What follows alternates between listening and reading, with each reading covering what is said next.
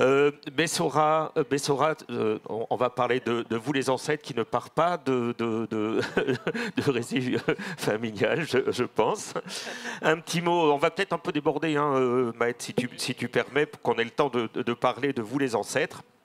tu es né à Bruxelles, tu es fille de diplomate, père gabonais, mère suissesse, tu as grandi en Europe, aux États-Unis, en Afrique. Tu dis qu'ayant beaucoup fréquenté les hôtels, je le dis parce que ça m'amuse bien et euh, je pense que tu, es prête à ce qu'on le redise. Les hôtels, les aéroports et les avions, tu rêvais enfant d'être hôtesse de l'air ce qui est assez logique.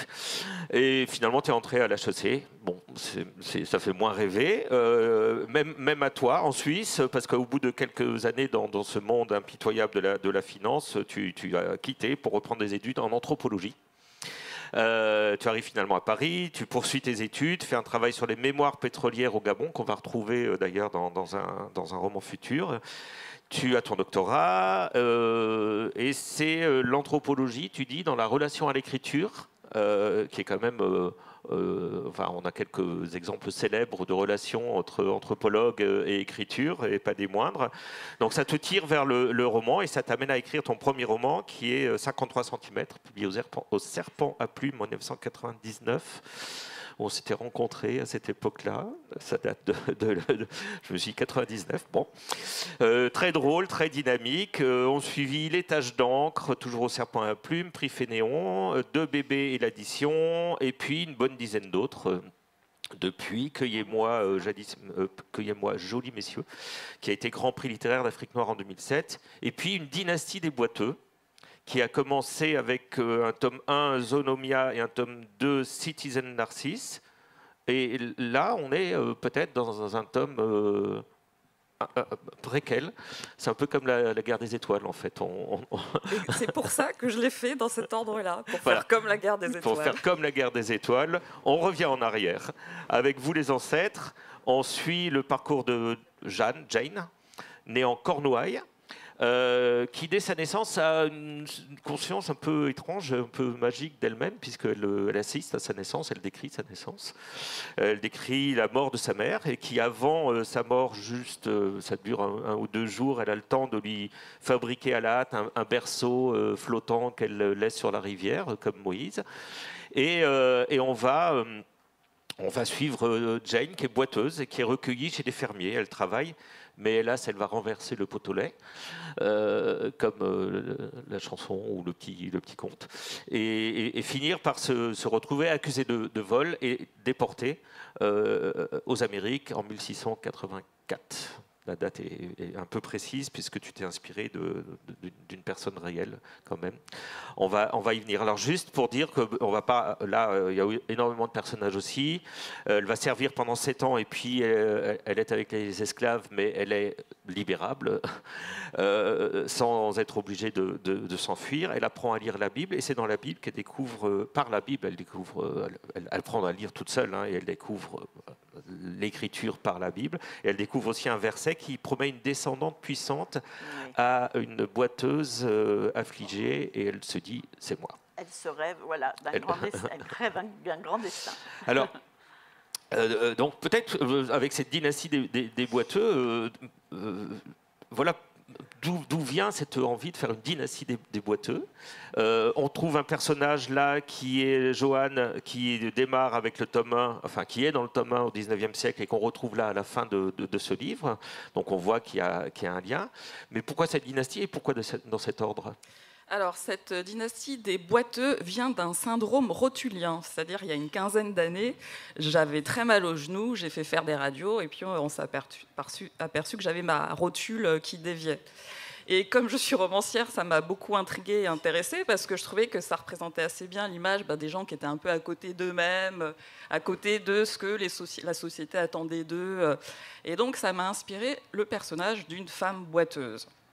À la même époque, euh, je m'intéressais beaucoup euh, au, déplacement des populations, parce que l'histoire du monde, elle est faite de populations qui se déplacent à cause de la pauvreté, de la guerre. Et ce qui m'intéressait à l'époque, c'était euh, les pauvres malfrats qui partaient d'Europe vers les Amériques. à l'époque, il y avait des colonies anglaises, des colonies françaises, des colonies suédoises en Amérique. Et donc, ça me, passionnait, cette histoire-là.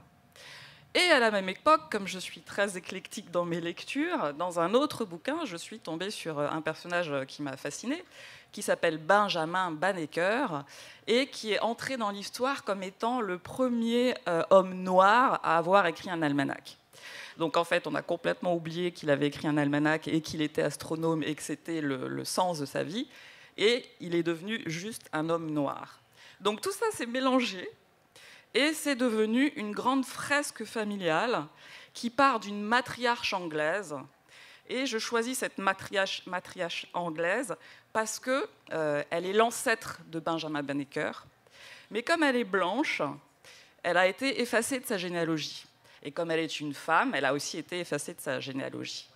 Alors je raconte euh, une histoire qui est à moitié inventée, qui est en effet pas l'histoire de mes ancêtres, même si Jane, ma matriarche, me rappelle beaucoup ma mère, ma mère qui elle-même descend de trafiquants de fromage bernois.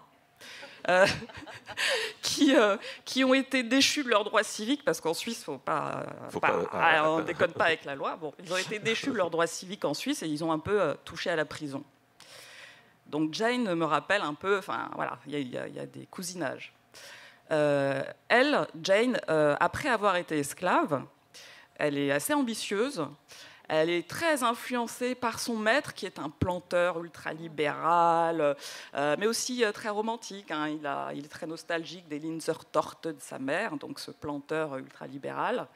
Et donc, euh, suivant le modèle de ce type-là, une fois qu'elle est libérée, elle-même devient planteuse donc avec le rêve de, voilà, de, dominer, de, de, gagner plein d'argent. Euh, D'avoir elle-même des esclaves. Voilà, d'ailleurs, elle achète un esclave, elle se fait escroquer, euh, elle, elle, est, elle, a un crédit sur le dos euh, pendant des années, sauf que bah, elle tombe amoureuse de cet esclave, qui n'est pas un esclave tout à fait comme on s'y attendrait, parce qu'il est, il est très paresseux, et puis en fait, il faut rien.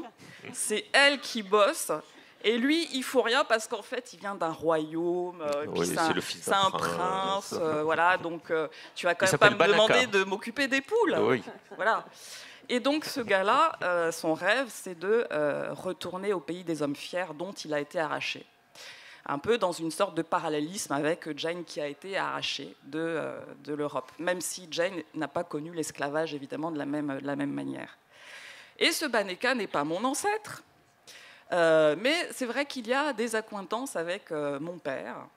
Euh, mon père qui est né dans les années 30 au Gabon, à Lambaréné, tout près du docteur Schweitzer, et qui fait partie de cette première génération de, de, jeunes hommes africains qui rêvaient que l'indépendance, ça leur apporterait des choses formidables, et qui s'est rebellé contre la dictature, et puis qui, comme du côté de ma mère, s'est un moment retrouvé en prison. Donc tout le monde s'est retrouvé un petit peu en prison, parce que tout le monde bravait des interdits.